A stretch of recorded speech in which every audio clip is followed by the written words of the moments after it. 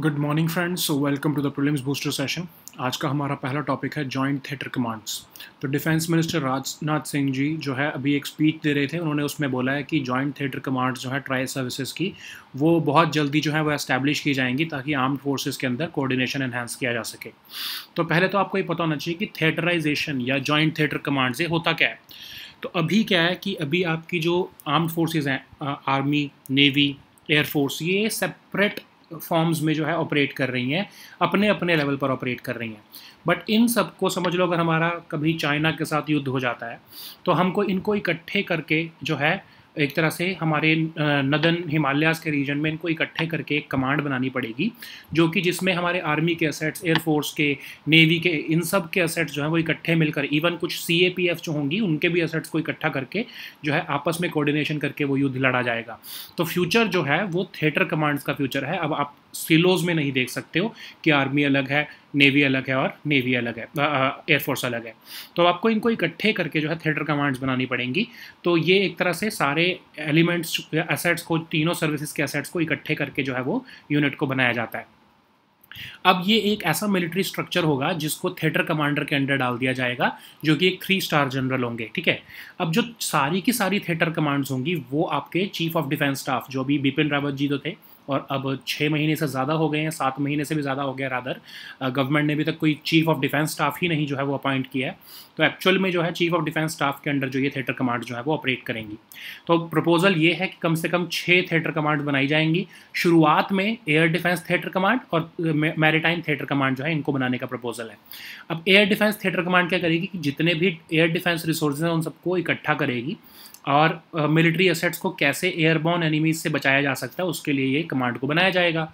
इसको एक top three star Indian air force के ऑफिसर जो हैं, प्रयागराज बेस्ड वो इसको हेड करेंगे। ऐसे ही मैरीटाइम थिएटर कमांड भी होगी, ठीक है, जो सी बॉर्न थ्रेट से इंडिया को बचाएगी। चाहे उसमें इंडियन आर्मी के पर्सोनल होंगे एयरफोर्स के भी होंगे नेवी के भी होंगे, और इसको लेकिन हेड कौन करेगा? एक top three star Indian navy के ऑफिसर जो कि कारवाड़ कर्नाटका में बेस होंगे। ऐसे ही हम आने वाले टाइम में northern command western command, eastern command और लॉजिस्टिक्स कमांड भी है जो वो बनाने वाले हैं, ठीक है? तो अब ये एयर डिफेंस कमांड और मैरीटाइम थिएटर कमांड जो है, इनको सबसे पहले बनाने का प्रपोजल है। अब इनका रोल क्या होगा? अब आपको पता है कि जो इसकी ऑपरेशनलाइजेशन है, वो आपके सीडीएस के अंडर होगी, चीफ ऑफ़ डिफेंस स्टाफ के अंडर होगी। तो एक तरह से जो सर्विस चीफ होंगे, आर्मी चीफ नेवी चीफ और एयरफोर्स चीफ उनका डायरेक्ट कंट्रोल नहीं रहेगा इन असेट्स के ऊपर। अब वो सिर्फ़ जो है आपकी रेजिंग ट्रेनिंग और सस्टेनिंग दीज फोर्सेज इस पर ही फोकस रखेंगे। और जो आपके ये चीफ होंगे जो आपके आर्म्ड फोर्सेस के, ये चीफ्स ऑफ़ स्टाफ कमेटी के मेंबर भी रहेंगे, ठीक है? ताकि ऑपरेशनल डिसीजंस जो है, वो उसमें पार्टिसिपेट करेंगे बट जो हेड होगा, वो आपके चीफ ऑफ़ डिफेंस स्टाफ ही होंगे। तो अभी आपका प्रेजेंट मॉडल क्या है? कि अभी हमारे कंट्री में आर्मी की अपनी सात कमांड्स हैं एयरफोर्स की सात कमांड है नेवी की तीन कमांड है तो हम चाहते हैं कि इनको जो है अब इस एक तरह से थिएटर कमांड्स बनाई जाएँ। तो अभी करंटली कंट्री में दो थिएटर कमांड्स ऑलरेडी एग्जिस्ट भी करती हैं। एक है अंडमान एंड निकोबार कमांड दूसरी है स्ट्रेटेजिक फोर्सेस कमांड जो आपकी न्यूक्लियर वेपन्स को हैंडल करती है। अब आने वाले टाइम में कहा जा रहा है कि जो अंडमान निकोबार कमांड है, उसको प्रपोज जो मैरीटाइम थिएटर कमांड है, उसके अंदर डाल दिया जाएगा। और जो स्ट्रेटेजिक फोर्सेस कमांड है, उसको नेशनल सिक्योरिटी काउंसिल जो कि एन हेड करते हैं, उसके अंदर डाल दिया जाएगा। अब इसमें कुछ चैलेंजेस भी हैं। जैसे एयरफोर्स को लगता है कि जो जितने भी असेट्स हैं उनका कंट्रोल जो है उनका एयरफोर्स का चला जाएगा और वो सारा कंट्रोल सीडीएस के पास चला जाएगा, उनके सारे असेट्स का। ऐसे ही होम मिनिस्ट्री को भी लगता है कि सारी कमांड्स में, जो सारी थिएटर कमांड्स में, कोई ना कोई सी ए पी एफ़ को भी डाला जाएगा तो सारा जो ऑपरेशनल कमांड जो आपकी होम मिनिस्ट्री की सी ए पी एफ़ के ऊपर है, वो भी जो है वो डिफेंस मिनिस्ट्री के पास चली जाएगी। ठीक है तो ये कुछ फेयर्स हैं जिनको, या अप्रीहेंशन हैं जिनको गवर्नमेंट जो है पहले एड्रेस करेगी।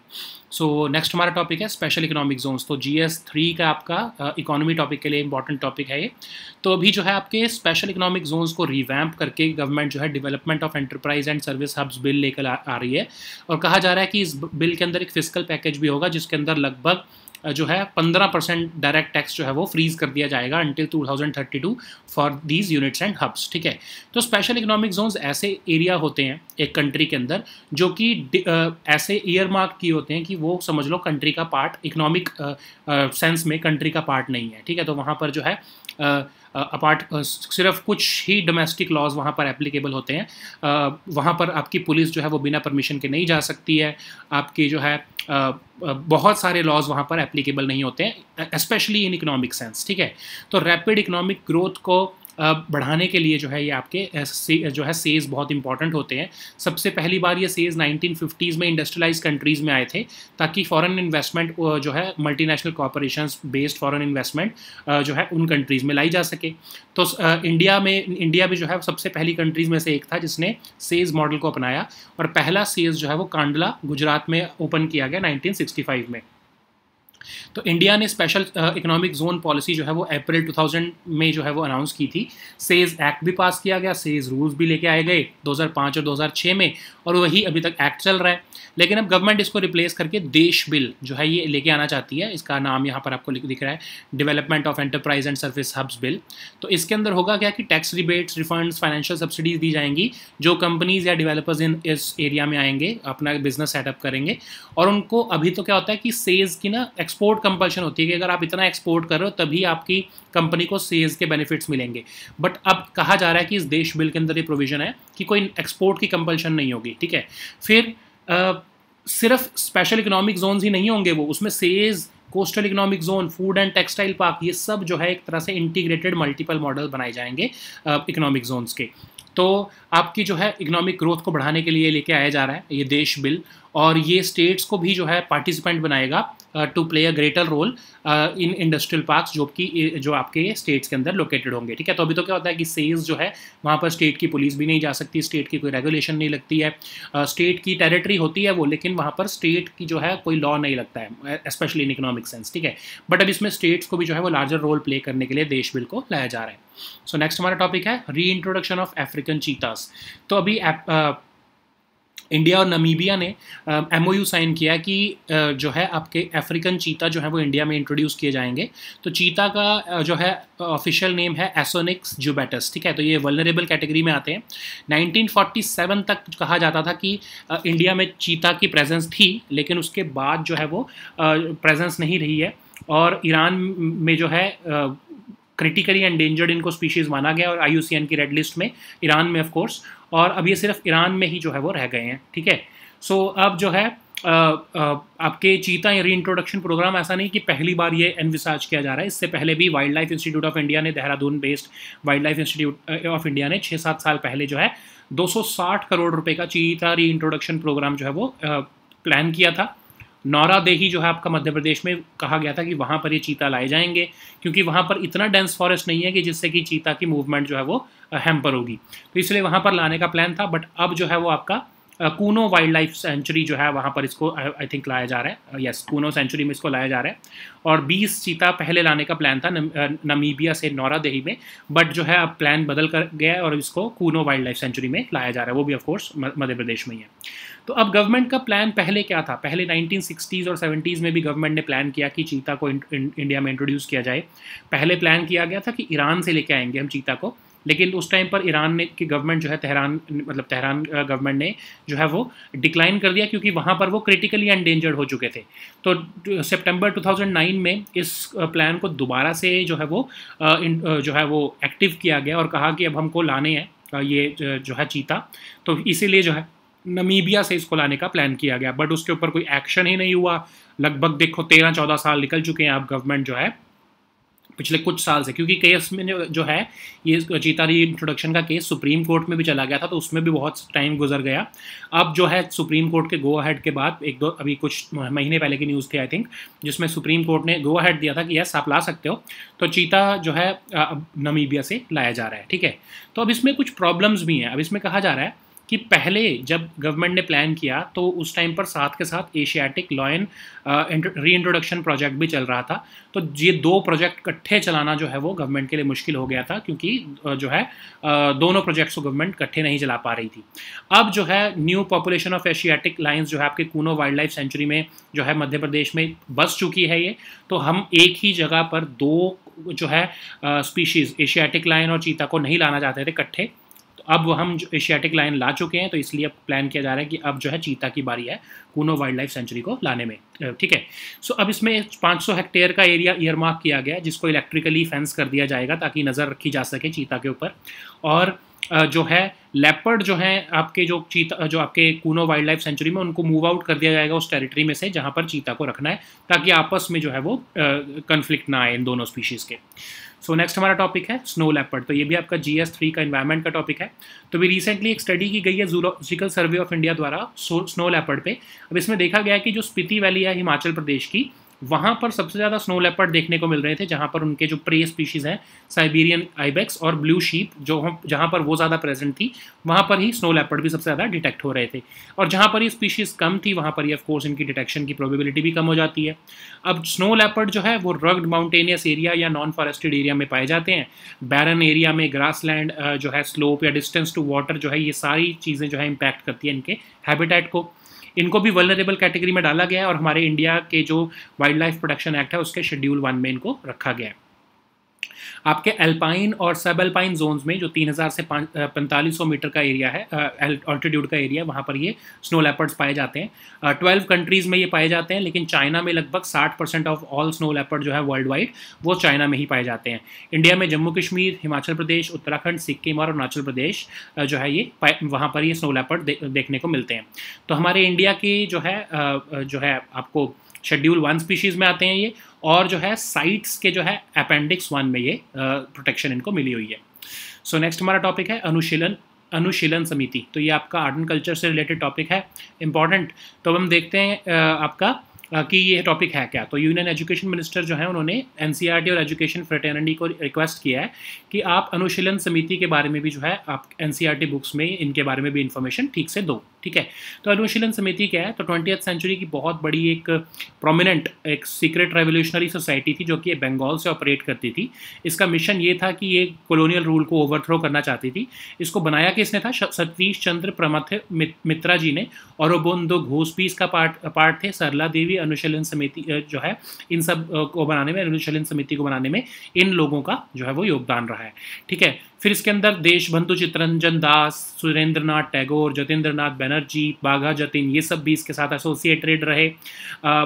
जो आपके औरबिंदो और जी जो थे, उनके बंदे मातरम और युगांतर जैसे जो है पब्लिकेशंस ने बंगाल के यूथ को और ज़्यादा जो है वो, जो है वो मोटिवेट किया कि वो अनुशीलन समिति को ज्वाइन करें। इवन जो आपके आरएसएस के फाउंडर हैं केशव बालीराम हेडवे हेडगेवर जी, वो भी अनुशीलन समिति के ही जो है वो एक बार पार्ट रहे हैं। ठीक है? So now Let us see all these topics in English. So the first topic is Joint Theatre Command. So Defense Minister uh, Rajnath Singh has recently accepted in a speech that the government is soon planning to launch the Joint Theatre Commands or tri of tri services uh, so that uh, enhanced coordination between armed forces can be ensured. So the theaterization, what is the concept of theaterization? It means that we want to integrate the capabilities of the three services, Army, Air Force and Navy, so that their resources can be optimally utilized for wars and operations. And of course, this topic is like uh, important for your GS3 security topic. And uh, uh, a theater command is basically uh, meant to integrate all elements or assets from all the three services so that better utilization of resources can happen. So like I was giving you an example that the Northern Theatre Command would be uh, responsible for meeting any uh, unforeseen challenges from the Chinese side or from the Tibetan side. And similarly, a Western Command would be created, uh, which would consist of, uh, of course, Army, Air Force, and Navy. And it would uh, tackle with any uh, challenge that may emanate from our uh, from the Pakistani side. So it's a basically military structure consisting of all units of our armed forces and which will be placed under the theater commander. So that theater commander would be a three-star general and it, it could be from either the Air Force, Navy or uh, army depending upon which element is um, uh, being represented so like this there there are two proposed theater commands which will be set up very soon the first one, of course, is the Air Defense Theatre Command, and it will control all the defense air defense resources within the country. Uh, all the three services will put up their air defense resources under this command, and this command would, of course, protect our military assets from airborne enemies. So, it, of course, naturally, it would be headed by a three-star Indian Air Force officer, which would, who would be based in Prayagraj. Similarly, a maritime theatre command would mean that all the three four uh, uh, services would put their maritime resources under a single command uh, so as to secure India from seaborne threats. And it will of course naturally be uh, headed by a three-star Indian Navy officer who would be based in Karwar that is in Karnataka. Similarly, other uh, theater commands are also being proposed, Northern Command, Western Command, Eastern Command and Logistics Command. And uh, initially the government is proposing that Air Defense Command and Maritime Theater Command would be uh, launched very soon. So what will be the role of service chiefs? What will be the role of army chief? What will be the role of air force chief and navy chief after theaterization? So of course the operational control of theater commands would come under the chief chief of defense staff, uh, which is yet to be appointed by the government since the uh, sad demise of uh, Bipin Rawat ji. So the service chiefs would be left with no direct control over their assets operationally, but they would be responsible for raising and training uh, their uh, forces, and they will also be a part of chiefs of staff committee, which will of course be headed by the chief of defense staff, and they will also participate in taking the operational decisions. So, what is the present model in India? So, uh, currently these uh, three services have their separate commands, uh, seven commands of army, uh, seven commands of navy, uh, uh, air force, and three commands of navy. But we still have tri-services commands also. Uh, the tri-services th theater commands are also there. Uh, first, of course, is the Andaman and Nicobar command, which is which of course has elements from both the Navy and the Air Force, Navy, Air Force, and Army. And similarly, there is a Strategic Forces command which handles the nuclear weapons in India. So after this maritime theater command would uh, would be formed. The andaman and nicobar uh, command would uh, be uh, accommodated within this mtc and this uh, strategic forces command would fall under the national security council headed by the nsa but it is not a smooth process because there are apprehensions of air force and even certain other forces because they think that the the current structure of the indian army will dwarf their uh, these the resources or assets of the air force and navy. Similarly like for that the air force is believing that they will control over, lose control over their assets and operations and uh, uh, th that's why they are having certain reservations regarding their asset division.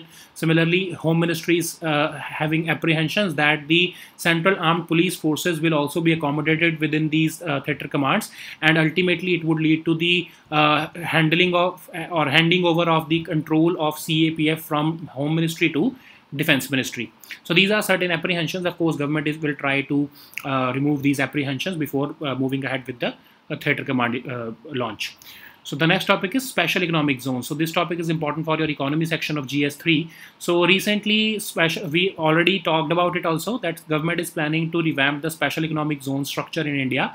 And that's why they have proposed this development of enterprise and service hubs Desh bill. And uh, the news reports are saying that the government is proposing a direct tax of 15% for units and hubs which are which will operate in these uh, Desh, under the Desh bill uh, until 2032. So what is a special economic zone? So of course it's an area which is sub, uh, subject to different economic regulations than the region than the um, than the other uh, uh, uh, regions which are in, in the same country. Like for example, if uh, there is a special economic zone near the coast of Gujarat, the uh, rules and uh, applications or laws of Gujarat would not automatically be applicable in that SEZ and uh, uh, central government would have a special special economic zones act and only those provisions would apply to those SEZ irrespective of the of it being in any territory of the state. So even the state police cannot enter into these SEZ without the permission of the relevant authorities. So objective uh, when we introduced this special economic zone uh, zones in our country, the objective was to of course uh, ensure rapid economic growth uh, by leveraging tax incentives. And the first SEZ appeared in like late 1950s in the industrialized countries. The, the motive of course was to uh, attract foreign investment from multinational corporations. And the first countries, uh, India was among the first countries in Asia to recognize the effectiveness of SEZ. That's why we established the first EPZ in Kandla that is in Gujarat in 1965. In uh, April 2000, we also launched this special economic zone policy and SEZ Act and SEZ rules were also introduced in 2005 and 2006 respectively. So what will be the provisions or key provisions of this Desh bill which has been proposed now? So of course tax rebates, financial subsidies, etc., would be given to the developers and companies who, who would be operating in this hub, and there would be no more export compulsion. You know that SEZ status depends upon how much that SEZ is exporting. So uh, currently, the SEZ uh, is tied to the export uh, uh certain uh, export uh, targets but after this bill there would be no more export compulsion so the idea is to create development hubs and that would also include not just SEZ but also coastal economic zones and food and textile parks also so the focus from exports will shift to domestic investments so that uh, procedural challenges can be minimized. So the focus of course is to boost economic activity in the domestic market and even involve the states to play a greater role in the integration of all these existing industrial parks within the states. So like I was telling you that the, in the state police or the state regulations do not automatically uh, uh, translate into uh, action in these SEZ, but now the states will also pay, play a role uh, in the under the Desh bill provisions. So the next topic is reintroduction of African cheetah. So this topic is important for your GS3 economy uh, environment section. I'm sorry. So India and Namibia, you know that we have signed a MOU so that African cheetahs can be tra uh, translocated or uh, reintroduced in India.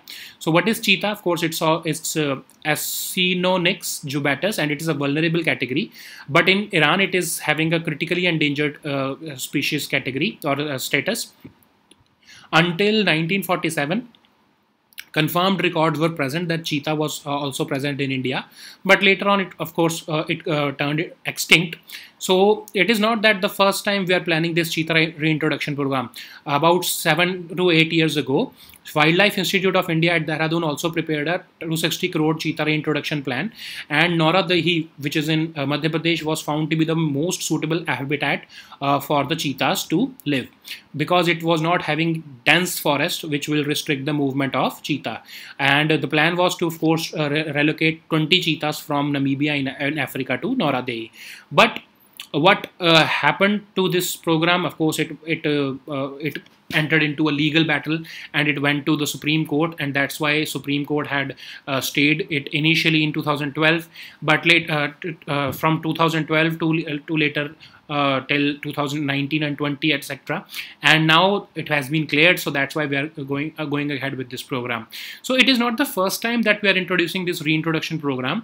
We even tried to re relocate or translocate these cheetahs uh, in 1960s and 70s and the initial plan was to bring them from Iran but the, gov the government of Iran declined because they were uh, seeing that this uh, is this uh, cheetah was a critically endangered species in Iran also.